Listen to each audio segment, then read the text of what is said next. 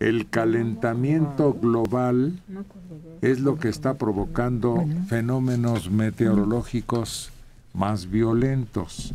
El calentamiento del Ártico puede afectar en forma prolongada el conocido como corriente en chorro polar, clave para el clima en Norteamérica y Europa, según científicos estadounidenses. Cuando se debilita lo que ha sucedido en las últimas décadas, los fenómenos tienden a durar más. Los tiempos cambian y cada vez se producirá con mayor frecuencia. Este fenómeno puede derivar del calentamiento que han sufrido en las últimas décadas algunos puntos como el Ártico, donde las temperaturas han aumentado entre dos y tres veces más rápido que en el resto de la Tierra. es eh, sobre todo la gran placa de hielo en el Polo Norte, cada año es más reducida. Y lo que permitía controlar la temperatura en el, en el Atlántico Norte, que era la corriente del Golfo, se está debilitando. Sí, pero hay dos tipos de calentamiento, ¿no? Bueno, yo quiero que me saquen de la duda.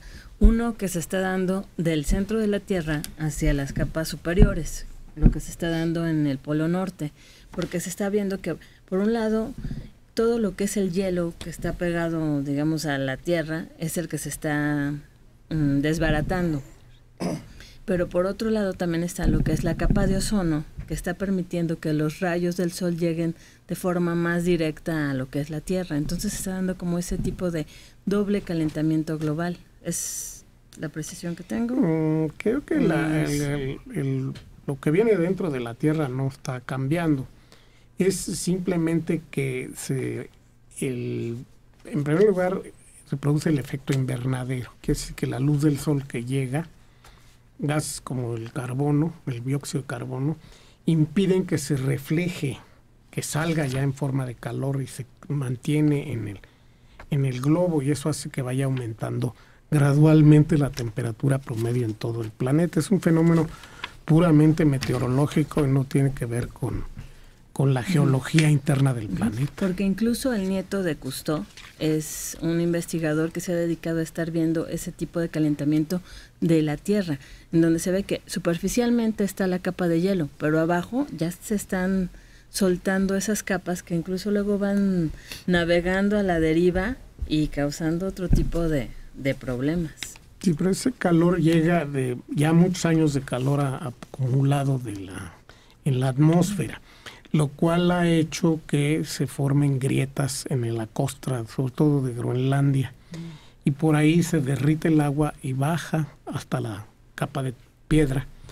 Y esa agua se, bueno, se, derrama hacia el mar, pero lubrica la, el contacto entre el hielo y, el, y la tierra y hace que se que corran más rápido los glaciares y que caigan al mar.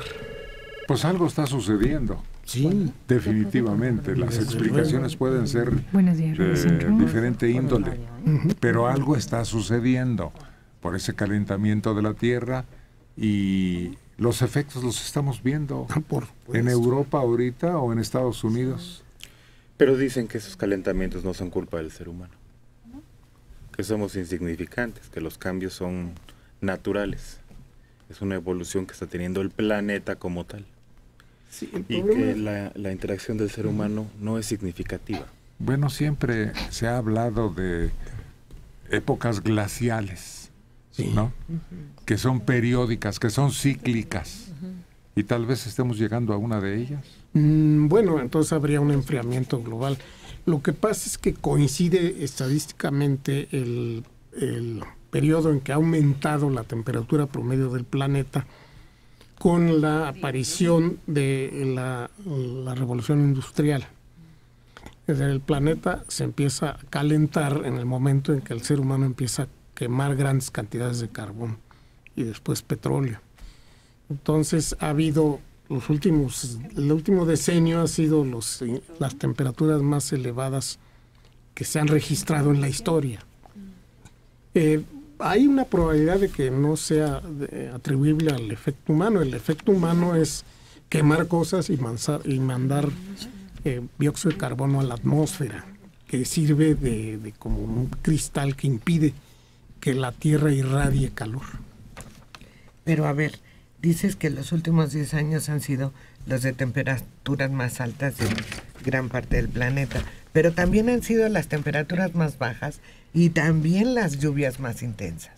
Sí, pero la temperatura global del planeta pues, se toma tomando en cuenta las temperaturas registradas en todos los centros meteorológicos del planeta. Entonces, mientras en efecto hay un gran frío en Norteamérica, en Sudamérica, en Norteamérica, en Japón, en Asia, en gran parte del hemisferio norte, en pues. Europa. Pero en el hemisferio sur hace los, los calores más intensos que se tiene memoria. 61 años tiene Jaime Basilio, que nos llama de Ecatepec. La capa de ozono es una protección contra los rayos ultravioleta del Sol, al grado que un experto en energía nuclear llegó a decir que si desaparece sería peor que una guerra nuclear. El efecto invernadero es por el aumento del dióxido de carbono en el ambiente, a razón del 1% cada año. Me llama la atención que la señora Adela dice Oaxaca y creo que dice ella que es maestra, ¿no? Que diga cómo es Oaxaca. ¿Eh? Ay, que cree que nunca me había fijado, pero de en adelante voy a poner atención. Repite. Delegación. Oaxaca. No. Tamales, calientitos, oaxaqueños. 836.